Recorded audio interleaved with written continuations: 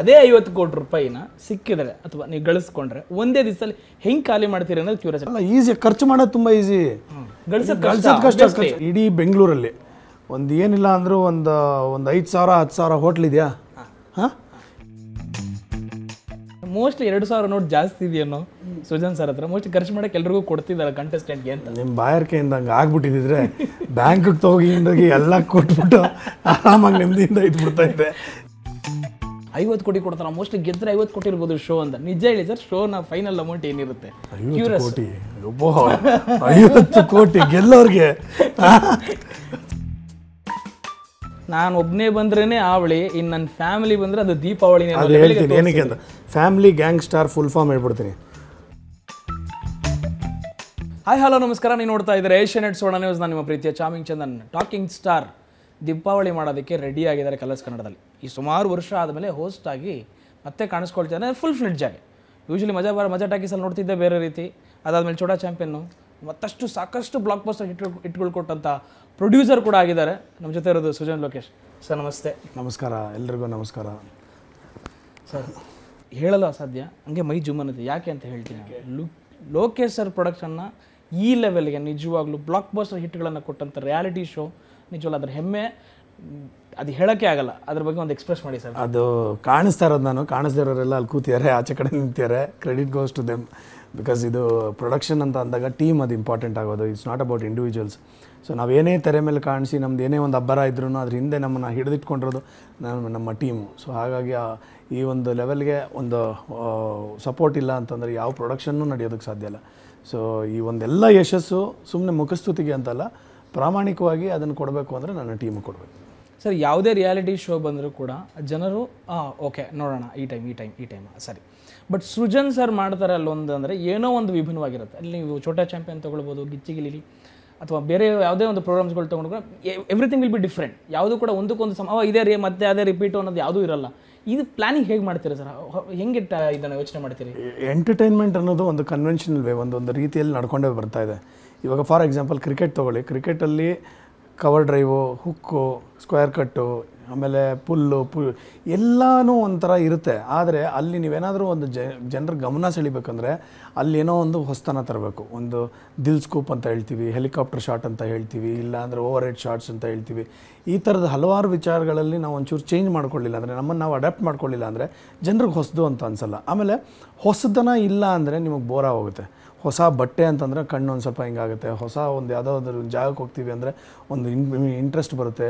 ಏನಾದರೂ ಹೊಸದು ನೋಡ್ತೀವಿ. ಹೊಸ ಸಿನಿಮಾ ರಿಲೀಸ್ ಆಗಿದೆ ಅಂದರೆ we are more excited so ಹೊಸದು ಅನ್ನೋದು ಎಲ್ರಿಗೂ ಇಷ್ಟ ಆಗಿರೋದು. ಹೊಸ ವರ್ಷ ಅಂದ ತಕ್ಷಣ we are all very happy so ಹೊಸತನ ಏನಾದರೂ ಒಂದು ಟ್ರೈ ಮಾಡ್ತಾ ಇರಲಿಲ್ಲ ಅಂದರೆ ನಾವು ವಿ ಬಿಕಮ್ ಔಟ್ಡೇಟೆಡ್ ಔಟ್ಡೇಟೆಡ್ ಅಂತ ಅಂದರೆ ವಿ ಬಿಕಮ್ ಹಿಸ್ಟ್ರಿ ಹಿಸ್ಟ್ರಿ ಅಂದರೆ ಅದನ್ನು ಓದ್ಕೊಂಡಿರ್ಬೇಕು ಅವ್ರಿಗೂ ನೋಡ್ಕೊಂಡಿರೋಕ್ಕಾಗಲ್ಲ.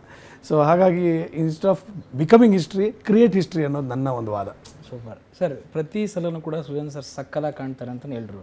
ಅದು ಹೆಣ್ಮಕ್ಳಾಗಿರ್ಬೋದು ಹೆಣ್ಮಕ್ಳಾಗಿರೋದು ಆ ಡ್ರೆಸ್ಸು ಆ ಹೈಟು ಆ ಪರ್ಸನಾಲಿಟಿಗೆ ಸಕ್ಕದಾಗಿ ಕಾಣ್ತಾರೆ ಅಂತ ಹೇಳಿ ಈ ಹಿಂದಿನ ಮಾಂತ್ರಿಕ ಯಾರು ಸರ್? ಈ ಕಾಸ್ಟ್ಯೂಮ್ ಡಿಸೈನ್ನ ಮಾಂತ್ರಿಕ? ಕಾಸ್ಟ್ಯೂಮ್ ಡಿಸೈನ್ ಮಾಡೋದು ನಮ್ಮ ಅಕ್ಕ. ಅಂದರೆ ಅಫ್ಕೋರ್ಸ್ ರೋಷನ್ ಶಿಲ್ಪ ಅಂತ ಮಾಡ್ತಿದ್ರು. ಈ ಸಲ ಆಮೇಲೆ ಮಜಾ ಟಾಕೀಸ್ ಅಷ್ಟೂ ನನ್ನ ಅಕ್ಕನೇ ಮಾಡಿದ್ದು. ಸೊ ಈ ಒಂದು ಇದಕ್ಕೂ ನಮ್ಮ ಅಕ್ಕ ಪೂಜಾನೇ ಮಾಡ್ತಾಳೆ ಆ್ಯಂಡ್ ಮಾಂತ್ರಿಕ ಏನಿಲ್ಲ ರೀ. ದಿನ ಎರಡು ಅವರು ಜಿಮ್ಗೆ ಹೋಗ್ಬೇಕು ಕಬ್ಬಣ ಹೊರಬೇಕು ಬೆವರು ಇಳಿಸ್ಬೇಕು ಇಲ್ಲ ಅಂದರೆ ಕಷ್ಟ. ಆಮೇಲೆ ಏನೇ ಆಗಲಿ ನಿಮಗೆ ಒಂದೊಂದು, ಒಂದು however the product is ಅದಕ್ಕೆ ಒಂದು ಒಳ್ಳೆ ಪ್ಯಾಕೇಜಿಂಗ್ ಇಲ್ಲ ಅಂದರೆ you are not interested so ಹಾಗಾಗಿ ಒಂದು, ನಮಗೆ ಇರೋದೇನಂದರೆ ಜನ ನೋಡಬೇಕು, ಮೆಚ್ಕೋಬೇಕು ಅಂತ ಅಂದಾಗ ವಿ ಶುಡ್ ಬಿ ಪ್ರೆಸೆಂಟಬಲ್ ಅನ್ನೋದಷ್ಟೇ. ನಾವು ಹೆಂಗೆಂಗೋ ಇದ್ದರೆ ಅದು ಜನರಿಗೆ ಇವನೇನಪ್ಪ ಹೇಳ್ತಾನೆ? ಸೊ ಹಾಗಾಗಿ ಇವಾಗ ಅಣ್ಣವ್ರು ನೋಡಿ ಹೆಂಗಿದ್ರು ಸೊ ಅವರ ಒಂದು ಇನ್ಸ್ಪಿರೇಷನ್ ಆಗಿ ತೊಗೊಂಡು we need to follow that ಒಂದು ಅಟ್ಲೀಸ್ಟ್ ಒಂದು ಡಿಸಿಪ್ಲಿನ್ ಅಂತ ಇವಾಗ ಇವಾಗ ಎಲ್ಲ ಕಡೆ ಇವಾಗ ನೋಡಿ ಕೊರೋನಾ ಬಂದಮೇಲಂತೂ ಲೈಫ್ ಸ್ಟೈಲೇ ಚೇಂಜ್ ಆಗೋಗಿದೆಯಾ? ಯಾವಾಗಲೂ ಎದ್ದೇಳ್ತೀವಿ, ಯಾವಾಗಲೂ ಮಲಗ್ತೀವಿ, ಏನೋ ತಿಂತೀವಿ, ಈ ಥರ ಹೋಗಿ ಚೂರು ಅಡಾಪ್ಟ್ ಮಾಡ್ಕೋಬೇಕು. ಆಮೇಲೆ ಎಲ್ಲಿವರೆಗೂ ಗಾಡಿ ಓಡುತ್ತಾ ಅಲ್ಲಿವರೆಗೂ ಪೆಟ್ರೋಲ್ ಇರಲಿ ಅಂತ ಅಷ್ಟೇ. ಸರ್ ಪ್ರತಿಯೊಬ್ಬರಿಗೂ ಕ್ಯೂರಿಯಸ್ ಆಗುವಂಥ ಪ್ರಶ್ನೆ ನೀವೇ ಕೇಳಿಬಿಟ್ಟಿದ್ರಿ ಐವತ್ತು ಕೋಟಿ ರೂಪಾಯಿ ಈಗ ಸಿಕ್ತು, ಅಥವಾ ಗೆದ್ರಿ ಹಾಂ?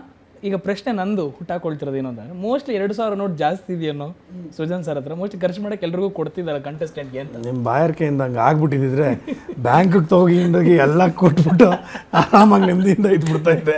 ಯಾಕಂದರೆ ನಮ್ಮ ಹತ್ರ ಏನು ಮುಚ್ಚುಮರೆ ಏನಿಲ್ಲ. ಆಮೇಲೆ ಇನ್ನೊಂದು ಏನಂದ್ರೆ ಹೆದರ್ಕೊಳ್ಳೋದು ಅದು ಇದು ಇಲ್ಲ ಯಾಕಂದರೆ ನಾವು ಕೆಲಸ ಮಾಡ್ತಿರೋ ಟಿ ವಿಲಿ ನಮ್ಮ ಹತ್ರ ಏನೇ ಇದ್ರೂ ಓಪನ್ನು ಸೊ ಹಾಗಾಗಿ ಆ ಥರ ಏನಾದರೂ ಇತ್ತು ಅಂದರೆ ಗೊತ್ತಾಯಿತು. ಆ ಥರ ಏನಾದರೂ ಇತ್ತು ಅಂದರೆ ನಿಮ್ಮ ಬಾಯಾರಿಕೆಯಿಂದ ಆಗಲಿ ಬಿಡಿ ಬರಲಿ ಒಂದು ಐವತ್ತು ಕೋಟಿ ಅದರಲ್ಲಿ ಟ್ಯಾಕ್ಸ್ ಕಟ್ಬಿಟ್ಟು ಆರಾಮಾಗಿ ಇನ್ನು ಮಿಕ್ಕಿದ್ದನ್ನು ಇಟ್ಕೊಂಡು ಸಮಾಧಾನವಾಗಿರ್ಬೋದು. ಸರ್ ಈಗ ಇಲ್ಲೇ ಒಂದು ಪ್ರಶ್ನೆ ಕೇಳ್ತೀನಿ ಸರ್. ಎಲ್ರಿಗೂ ನೀವು ಪ್ರಶ್ನೆ ಮಾಡ್ತಿದ್ದೀರಿ ಇವತ್ತು ನಾನು ಪ್ರಶ್ನೆ ಮಾಡಿ ಅದೇ ಐವತ್ತು ಕೋಟಿ ರೂಪಾಯಿನ ಸಿಕ್ಕಿದ್ರೆ ಅಥವಾ ನೀವು ಗಳಿಸ್ಕೊಂಡ್ರೆ ಒಂದೇ ದಿವಸದಲ್ಲಿ ಹೆಂಗೆ ಖಾಲಿ ಮಾಡ್ತೀರಿ ಅನ್ನೋದು ಕ್ಯೂರಿಯಾಸಿಟಿ ಯಾಕಂದ್ರೆ ಮಾತಿನ ಮಲ್ಲ ನೀವು.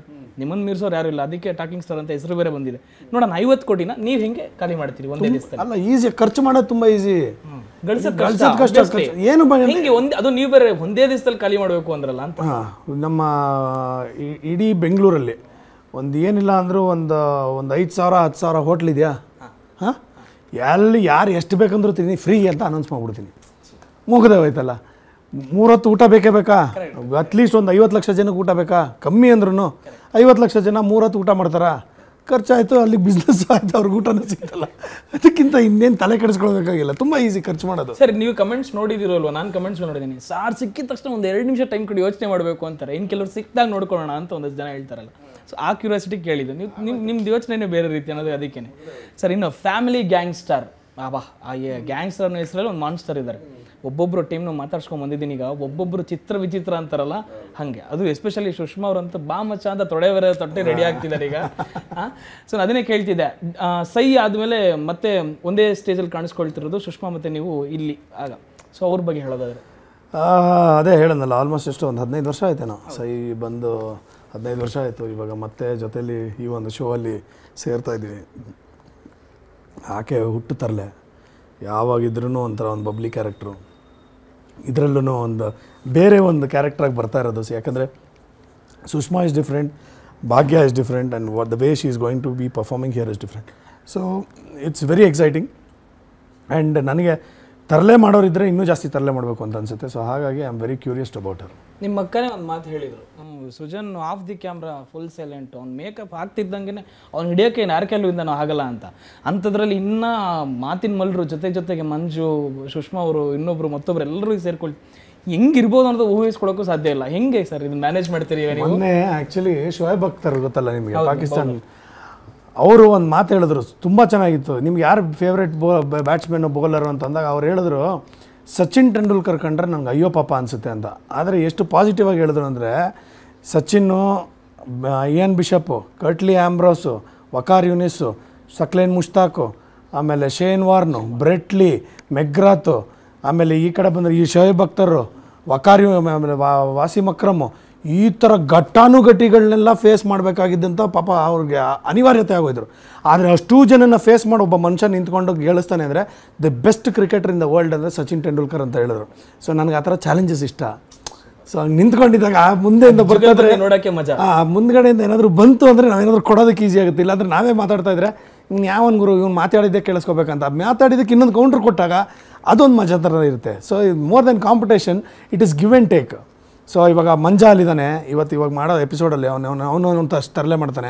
ಅವನಿಗೆ ನಾನು ಕೌಂಟ್ರ್ ಕೊಡೋದು ಮಜಾ ಇರುತ್ತೆ. ಸುಷ್ಮಾ ಏನೋ ತರಲೆ ಮಾಡ್ತಾರೆ ನಾನು ಕೌಂಟ್ರ್ ಕೊಡೋದು ಮಜಾ ಇರುತ್ತೆ. ಸೊ ಈ ರೀತಿ ಗಿವ್ ಆ್ಯಂಡ್ ಟೇಕ್ ಇದ್ದಾಗಲೇ ಮಜಾ ಕೊಡೋದು. ಸೊ ಹಾಗಾಗಿ ನನಗೆ ಆ ಮಗ್ರಾತು ಬರಲಿ ಶೇನ್ ವಾರ್ನು ಬರಲಿ ವಕಾರ್ ಯೂನಿಸು ಬರಲಿ ಎಲ್ಲರೂ ಬರಲಿ. ನಾವು ಸಚಿನ್ ಆಡ್ಕೊಂಡಿರ್ತೀರಿ ಸೂಪರ್ ಸರ್ ಅದನ್ನ ಚೆನ್ನಾಗಿ ಎಕ್ಸ್ಪ್ಲೈನ್ ಮಾಡಿದ್ರೆ ನನಗೆ ಇನ್ನೊಂದು ಹುಟ್ಟಾಕೋ ಪ್ರಶ್ನೆ ಏನಂತಂದ್ರೆ ಜನ ಸಡನ್ ಆಗಿ ಫ್ಯಾಮಿಲಿ ಅಂದಿದ ತಕ್ಷಣ ಓ ನಮಗೆಲ್ಲ ಆಪರ್ಚುನಿಟೀಸ್ ಅಂತ ಅನ್ಕೊಂಡ್ಬಿಟ್ಟಿದ್ರು. ಅದೊಂದು ಪೋಸ್ಟರ್ ಲಾಂಚ್ ಆದಾಗ. ಬಟ್ ಅಲ್ಲಿ ನೀವು ತೋರಿಸಿದ ರೀತಿನೇ ಬೇರೆ ಐತೆ. ನಾನು ಒಬ್ಬನೇ ಬಂದ್ರೇನೆ ಆವಳಿ ಇನ್ನು ನನ್ನ ಫ್ಯಾಮಿಲಿ ಬಂದ್ರೆ ಅದು ದೀಪಾವಳಿ ಅದು ಹೇಳ್ತೀನಿ ಏನಕ್ಕೆ ಅಂತ family gang star full form ಹೇಳ್ಬಿಡ್ತೀನಿ.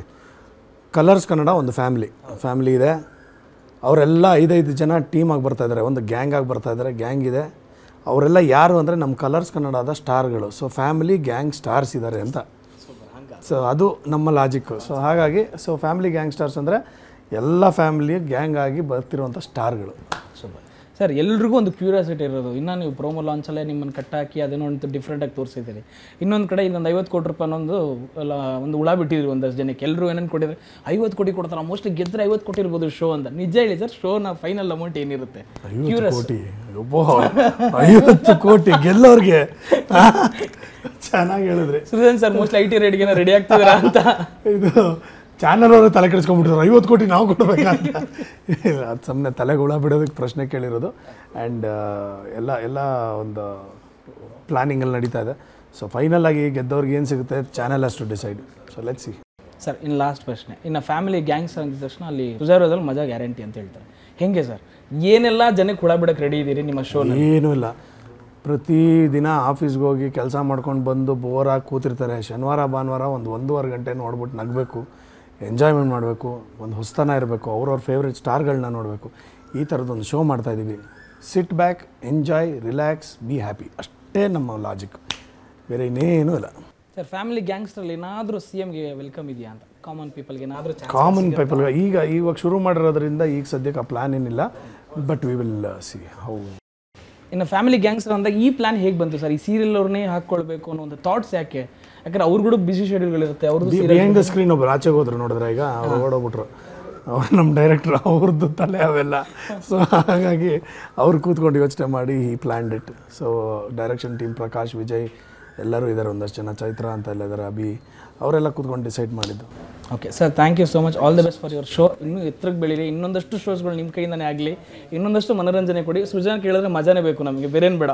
Thank you thank you so much so ನೋಡ್ರಲ್ಲ ಇದಾಗಿತ್ತು ವಿಶೇಷ ಕಾರ್ಯಕ್ರಮ. ಕ್ಯಾಮ್ರಾ ಪರ್ಸನ್ ಸಂತೋಷ್ ಜೊತೆ charming Chandan signing off bye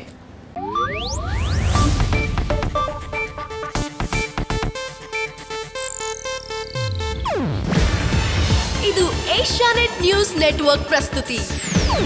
ನೀವು ನೋಡ್ತಿದ್ದೀರಾ ಏಷ್ಯಾ ನೆಟ್ ಸುವರ್ಣ ನ್ಯೂಸ್.